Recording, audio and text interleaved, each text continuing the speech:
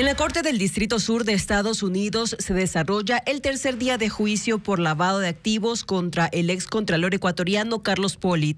La diligencia se retomó con la parte final del interrogatorio de la Fiscalía a José Santos, ex ejecutivo de Odebrecht en Ecuador, y el contrainterrogatorio del abogado de Polit, Howard Srebnik. En esta última parte se conoció que no solo Polit recibió sobornos de parte de la constructora brasileña, sino que el ex vicepresidente Jorge Glass y su tío Ricardo Rivera tenían otra ruta para los pagos ilegales en España. En el contrainterrogatorio, el abogado de Polit exhibió registros de pagos del Departamento de Sobornos de Odebrecht. Uno con el código tío adjudicado a Rivera es de 240 mil dólares y fue hecho en julio de 2010 a la empresa Cosmac Media Mercados SL de Barcelona mediante ING Bank en Ámsterdam. El abogado también mostró otros pagos con el código Miami con el que se identificaba al excontralor uno de 400 mil dólares y otro de 200 mil a la empresa Danny Strong Limit de Bahamas. Sin embargo, esa empresa no está relacionada al excontralor, sino al abogado Carlos Pareja Cordero, alias Capaco.